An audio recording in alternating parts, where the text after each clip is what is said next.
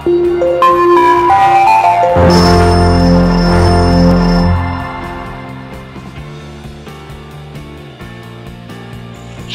math learners!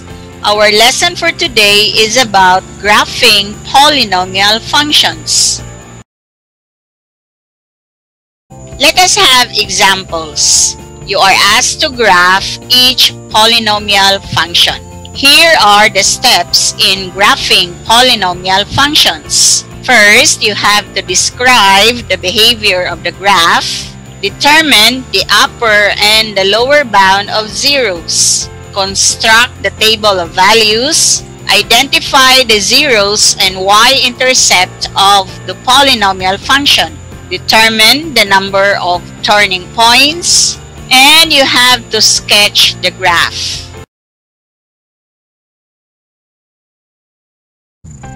Graph the polynomial function g of x is equal to x raised to 4 minus 5x squared plus 4.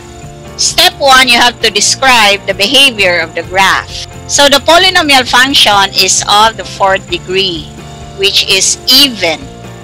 And its leading coefficient is positive. Then the extreme left part of the graph is decreasing and the extreme right part is increasing.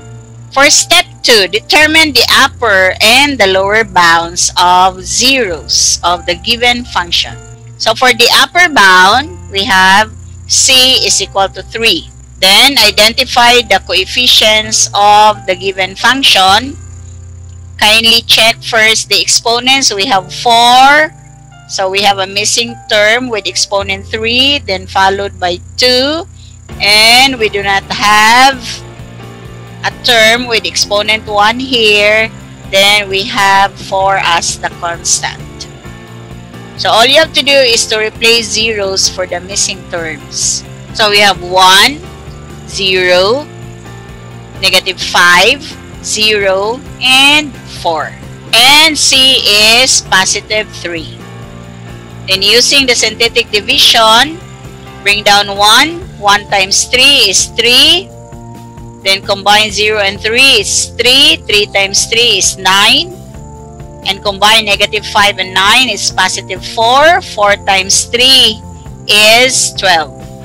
And 0 plus 12 is 12. 12 times 3 is 36. 4 plus 36 is 40. So 5 is the smallest integral upper bound because the coefficients are positive. Next, for the lower bound, c is negative 3. So, identifying the coefficients of the function, so again, we have 1, 0, negative 5, 0, 4. And for the value of c now is negative 3. Using synthetic division, bring down 1. 1 times negative 3 is negative 3. combined, it's negative 3 times negative 3, it's positive 9. Combined, it's positive 4. 4 times negative 3, it's negative 12. And combined, 0 and negative 12 is negative 12. Negative 12 times negative 3, it's positive 36. Combine 4 and 36, it's 40. And it gives us alternating signs. Therefore, Negative 3 is the largest integral lower bound. Then construct the table of values of the given function. So these are the values of x and the corresponding values of f of x or y. So starting with negative 3 as the lower bound, going to positive 3 as the upper bound, including the zeros of the function as well as the y-intercept and the turning points. So I'll just give one solution at x is equal to negative 3. Then substitute negative 3 to the given function. So change x to negative 3, here negative 3, and then you copy 4. Then simplify, this is 81 minus 45 plus 4. So the result is 40. That is why the result here is 40. For step 4, identify the zeros and the intercept of the polynomial function. The zeros are negative 2, negative 1, 1, and 2. And you can take this from the table of values. They are also called the x-intercepts. And the y-intercept is 4 with coordinates 0 and 4 or simply the value of the constant. For step 5, determine the number of turning points. Since it is in the fourth degree, thus that is 4 minus 1 is 3. So the number of turning points is 3. The first turning point. The points with the same y coordinates are negative 2, 0 and negative 1, 0. So to find the x-coordinate of the turning point, we use this formula. And substitute negative 2 to x sub 1, negative 1 to x sub 2. Over 2, the answer is negative 3 over 2 or negative 1.5. And then, using the given function, we have to substitute negative 1.5 to x. And the result is negative 2.19. Thus, the first turning point is at point with coordinates negative 1.5 and negative 2.19. The second turning point is at point with coordinate 0, 4. For the third turning point, the points with the same y coordinates are the points with coordinates 1, 0 and 2, 0. So, applying the formula, the result is 1.5. And for the y value of the turning point, we have negative 2.19. Thus, the third turning point is at point with coordinates 1.5 and negative 2.19. Then, let us sketch the graph of the function now, which is g of x is equal to x to the exponent of 4 minus 5 x squared plus 4. So the behavior of the graph again is extreme left part of the graph is decreasing and the extreme right part is increasing. The upper bound is 3 and the lower bound is negative 3. Then we have the table of values. Starting negative 3 as the lower bound, going to positive 3 as the upper bound. The zeros are negative 2, here, negative 1, 1, and 2. And the y-intercept is 4. The number of turning points is 3. And then, let us sketch the graph. Let us plot the points now in the Cartesian plane. So, we have the first point with negative 340, then negative 2, 0, negative 1.5, negative 219, negative 1, 0, 0, 4, 1, 0, 1.5, negative 2.19, 2, 0, and 340. And then connect with a smooth curve. And do not forget to place arrowheads here, here, y for the y-axis, x for the x-axis, and the complete coordinates for the points. So, if the graph is like this, the behavior extreme left part of the graph is decreasing and the extreme right part is increasing. Let us have example number 2. Graph g of x is equal to negative x raised to 4 plus 4x cubed plus 4x squared minus 16x. Step 1, you have to describe the behavior of the graph. The polynomial function is of the fourth degree, which is even, and its leading coefficient is negative. Then, the extreme left part of the graph is increasing and the extreme right part is decreasing. Let us determine the upper and the lower bounds of zeros of the given function. The upper bound, we have C is equal to 5. Then let us identify the numerical coefficients of the given function.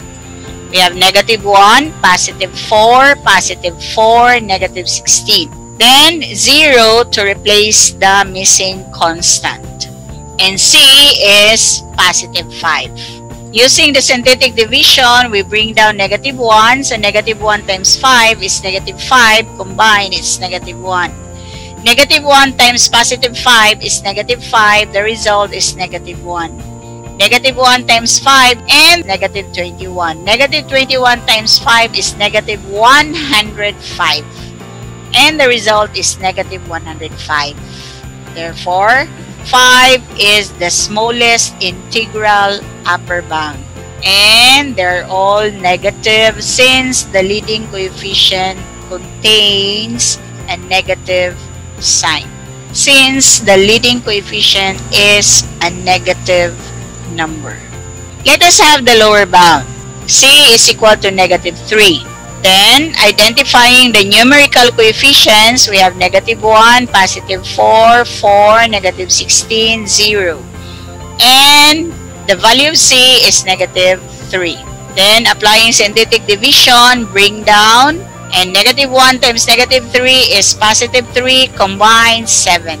7 times negative 3 is negative 21, combined, it's negative 17. And negative 17 times negative 3 is positive 51. Combine, it's 35. 35 times negative 3, it's negative 105. And the result is negative 105. And negative 3 is the largest integral lower bound. And we have alternating signs. By this time, it started with negative 1, then positive, negative, positive, negative. Then we have to construct the table of values of the given function. So, we have the values of x here, starting negative 3 as the lower bound, going to 5 as the upper bound. And these are the values of f of x or the y values. So again, I will give you only one example at x is equal to positive 3. Let's try to find out if the result is 15. So using the given function, let us substitute 3 to x here, here, here, and here. So we have negative 81, 108 here, 36 for 4 times 3 squared, and negative 48 for 16 times 3. And the result is 15. So that is why we have 15 here. Then we have to identify the zeros and the y-intercept of the polynomial functions. The zeros are negative 2, 0, 2, and 4. You can find this in the table of values. And there are also the x-intercepts and y-intercept is equal to 0 with coordinates 0, 0. Then we have to determine the number of turning points. Since the polynomial is in the fourth degree, thus the number of turning points is 4 minus 1 or simply 3. Then we have to sketch. So again, we have to take the behavior of the graph, which is extreme left part of the graph is increasing and the extreme right part is decreasing. Then the upper bound is 5, the lower bound is negative 3. The table of values which will include the lower bound and the upper bound, plus the zeros, which are negative 2, 0, 2, and positive 4, with the y-intercept here. And the number of turning points, we have 3, since the degree is 4. And by this time, we have to sketch the graph. Plot the points in the Cartesian plane now. Starting negative 3 with negative 105, negative 2, 0, negative 115, 0, 0, 0, 1, negative 9, 2, 0, 3, 15, 4, 0, and then connect with a smooth curve. So, again, you have to indicate the arrowheads. This point contains the lower bound this point contains the upper bound. This is the turning point, another turning point, another turning point. So there are three turning points we have the first zero, the second zero, the third zero, and the fourth zero. So all in all, there are four zeros of the function. And the graph crosses the x-axis four times with these points here. Do you have questions? If there is none, then See you next time. Bye!